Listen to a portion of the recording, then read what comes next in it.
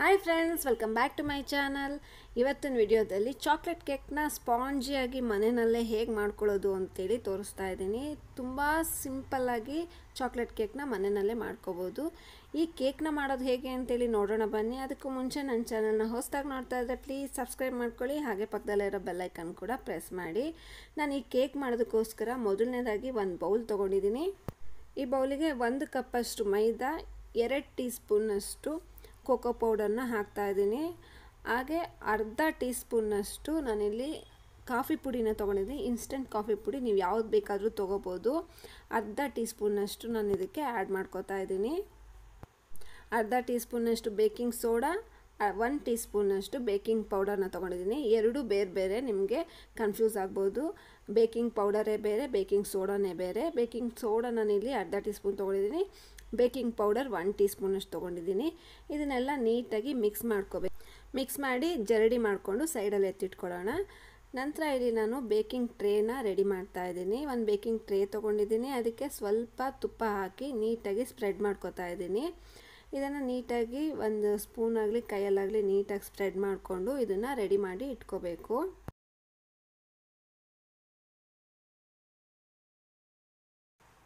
ಎಲ್ಲ ಕಡೆ ನೀಟಾಗಿ ಸ್ಪ್ರೆಡ್ ಮಾಡಿಕೊಂಡು, ನಂತರ ಇದಕ್ಕೆ ಸ್ವಲ್ಪ ಮೈದಾನ ಹಾಕಿ ಡಸ್ಟಿಂಗ್ ಮಾಡಬೇಕು. ಈ ರೀತಿ ಮಾಡೋದ್ರಿಂದ ಕೇಕು ನಮಗೆ ನೀಟಾಗಿ ರಿಮೂವ್ ಆಗುತ್ತೆ, ಕಚ್ಕೊಳ್ಳೋದಿಲ್ಲ.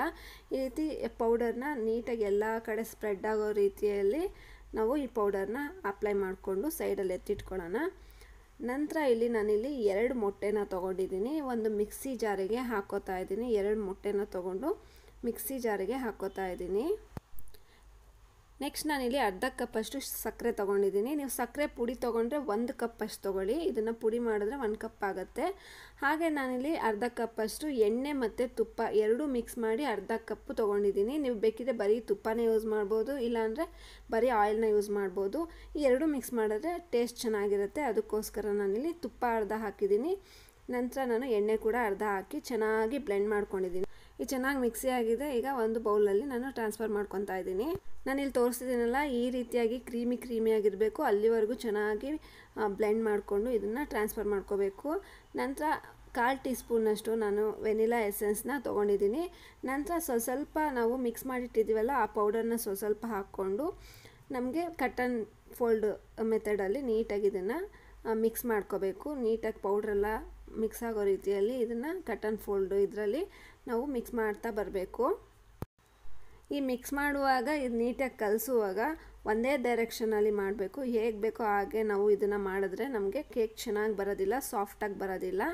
ನಂತರ ಉಳಿದಿರೋ ಪೌಡರ್ನ ಕೂಡ ಹಾಕಿ ನೀಟಾಗಿ ಎಲ್ಲ ಒಂದೋ ರೀತಿಯಲ್ಲಿ ಚೆನ್ನಾಗಿ ಮಿಕ್ಸ್ ಮಾಡ್ಕೋಬೇಕು.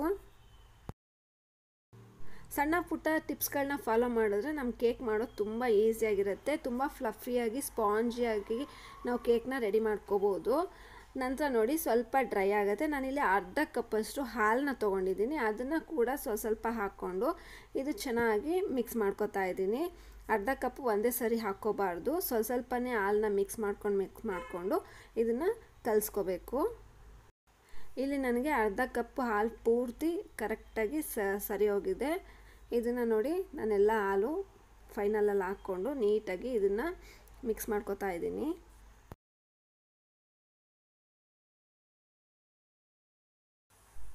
ನಮಗಿಲ್ಲಿ ಕೇಕ್ ಬ್ಯಾಟರ್ ರೆಡಿ ಆಗಿದೆ. ಈಗ ಬೇಕಿಂಗ್ ಟ್ರೇನಲ್ಲಿ ಇದನ್ನು ಟ್ರಾನ್ಸ್ಫರ್ ಮಾಡ್ಕೊಳ್ಳೋಣ. ನಿಮಗೆ ಈಗ ಗೊತ್ತಾಗುತ್ತೆ ನೋಡಿ, ನಿಮಗೆ ಈ ರೀತಿ ಕನ್ಸಿಸ್ಟೆನ್ಸಿ ಇರಬೇಕು ಕೇಕ್ ಬ್ಯಾಟರು ಕರೆಕ್ಟಾಗಿ ಈ ಕನ್ಸಿಸ್ಟೆನ್ಸಿಯಲ್ಲಿದ್ದರೆ ನಿಮಗೆ ಕೇಕು ಫ್ಲಫಿಯಾಗಿ ಸ್ಪಾಂಜಿಯಾಗಿ ಚೆನ್ನಾಗಿ ಬರುತ್ತೆ. ನಿಮಗೆ ಆ ಕೇಕ್ ಮೌಲ್ಗೆ ಮುಕ್ಕಾಲು ಭಾಗ ಮಾತ್ರ ಹಾಕೋಬೇಕು, ಪೂರ್ತಿಯಾಗಿ ಹಾಕೋಬಾರ್ದು, ಮುಕ್ಕಾಲು ಭಾಗ ಮಾತ್ರ ಹಾಕಬೇಕು. ಯಾಕಂದರೆ ಆ ಕೇಕು ಚೆನ್ನಾಗಿ ಉಕ್ಕುತ್ತೆ ಅಲ್ವಾ? ಆ ಟೈಮಲ್ಲಿ ನಿಮಗೆ ಹೊರಗಡೆ ಬಂದುಬಿಡುತ್ತೆ. ಮುಕ್ಕಾಲು ಹಾಕಿದ್ರೆ ಕರೆಕ್ಟಾಗಿರುತ್ತೆ. ನಂತರ ಒಂದೆರಡು ಸತಿ ಟ್ಯಾಪ್ ಟ್ಯಾಪ್ ಮಾಡಿದ್ರೆ ಹೇರ್ ಬಬಲ್ಸ್ ಎಲ್ಲ ನೀಟಾಗಿ ರಿಮೂವ್ ಆಗುತ್ತೆ. ನೆಕ್ಸ್ಟ್ ನೋಡಿ ನಾನಿಲ್ಲಿ ಒಂದು ಕುಕ್ಕರ್ ಇಟ್ಟಿದ್ದೀನಿ. ಕುಕ್ಕರ್ ಇಟ್ಟು ಒಂದು ಸ್ಟ್ಯಾಂಡ್ ಇಟ್ಟು ಒಂದು ಹತ್ತು ನಿಮಿಷ ಫ್ರೀ ಇಟ್ ಮಾಡ್ಕೋಬೇಕು. ಫ್ರೀ ಇಟ್ಟಾದಮೇಲೆ ನಾವು ಈ ಕೇಕ್ ಬ್ಯಾಟರ್ ರೆಡಿ ಮಾಡಿದ್ದೀವಲ್ಲ, ಅದನ್ನು ಇದ್ರೊಳಗಡೆ ಇಟ್ಬಿಟ್ಟು ಕುಕ್ಕರ್ದು ಬೆಲ್ಟು ಮತ್ತು ವಿಸಿಲ್ ಇರುತ್ತಲ್ಲ ಅದನ್ನೆರಡು ರಿಮೂವ್ ಮಾಡಿಬಿಟ್ಟು ಬರೀ ಲಿಡ್ನ ಮಾತ್ರ ಕ್ಲೋಸ್ ಮಾಡಿ ಹೈ ಟು ಮೀಡಿಯಮ್ ಫ್ಲೇಮಲ್ಲಿ ಮೂವತ್ತೈದು ನಿಮಿಷವರೆಗೂ ಇದನ್ನು ಬೇಕ್ ಮಾಡ್ಕೋಬೇಕು. ಮಧ್ಯದಲ್ಲಿ ಬೇಕಿದ್ರೆ ನೀವು ಚೆಕ್ ಮಾಡಿ, ಮೂವತ್ತೈದು ನಿಮಿಷ ಆಗಿದೆ, ಈಗ ನಾನು ಚೆಕ್ ಮಾಡ್ತಾಯಿದ್ದೀನಿ ಒಂದು ಯಾವುದಾದ್ರು ಸ್ಪೂನ್ ಅಥವಾ ಏನಾದರೂ ಚಾಕು ತೊಗೊಂಡು ನಿಮಗೆ ಸೆಂಟ್ರಲ್ಲಿ ಈ ರೀತಿಯಾಗಿ ಚುಚ್ಚಿ ನೋಡಿ, ಅದು ನೀಟಾಗಿ ಆ ಚಾಕುಗೆ ಅಂಟದಿರ ಬಂತು ಅಂದರೆ ನೀಟಾಗಿ ಕೇಕ್ ರೆಡಿಯಾಗಿದೆ ಅಂತೇಳಿ ಈಗ ನಾವು ಡಿಶ್ ಔಟ್ ಮಾಡೋಣ ಕೇಕ್ ರೆಡಿಯಾಗಿದೆ ಇದು ಸ್ವಲ್ಪ ಕೋಲ್ಡ್ ಆಗಿದೆ. ಈ ಟೈಮಲ್ಲಿ ಸೈಡ್ಸ್ ಎಲ್ಲ ನೀಟಾಗಿ ಚಾಕು ಸಹಾಯದಿಂದ ನೀಟಾಗಿ ರಿಮೂವ್ ಮಾಡ್ಕೊಳ್ಳಿ. ನಂತರ ಇದು ಚೆನ್ನಾಗಿ ಹೊರಗಡೆ ಬರುತ್ತೆ. ಈಗ ಈ ಬೌಲ್ನ ಟರ್ನ್ ಮಾಡ್ಕೊಳ್ಳೋಣ. ಕೇಕ್ ನೀಟಾಗಿ ಬರುತ್ತೆ ಆಗ. ಈ ರೀತಿಯಾಗಿ ಮಾಡ್ಕೋಬೇಕು. ಆವಾಗ ನಿಮಗೆ ನೀಟಾಗಿ ಬರುತ್ತೆ.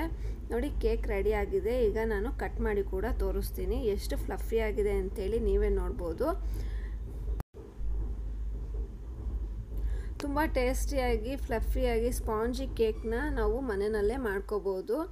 ನೋಡಿ ಎಷ್ಟು ಸಾಫ್ಟಾಗಿದೆ ಅಂತೇಳಿ. ತುಂಬ ಚೆನ್ನಾಗಿದೆ, ನೀವು ಕೂಡ ಟ್ರೈ ಮಾಡಿ ನೋಡಿ. ಓಕೆ ಫ್ರೆಂಡ್ಸ್, ಈ ವಿಡಿಯೋ ನಿಮಗೆ ಇಷ್ಟ ಆಗಿದೆ ಅಂತ ಅಂದ್ಕೊಂಡಿದ್ದೀನಿ ಇಷ್ಟ ಆಗಿದ್ದರೆ ಲೈಕ್ ಮಾಡಿ, ಶೇರ್ ಮಾಡಿ, ಹಾಗೆ ಕಮೆಂಟಲ್ಲಿ ಕೂಡ ಬರ್ತಿಳಿಸಿ ನಾನು ನೆಕ್ಸ್ಟ್ ವಿಡಿಯೋದಲ್ಲಿ ಮೀಟ್ ಆಗ್ತೀನಿ. ಬಾಯ್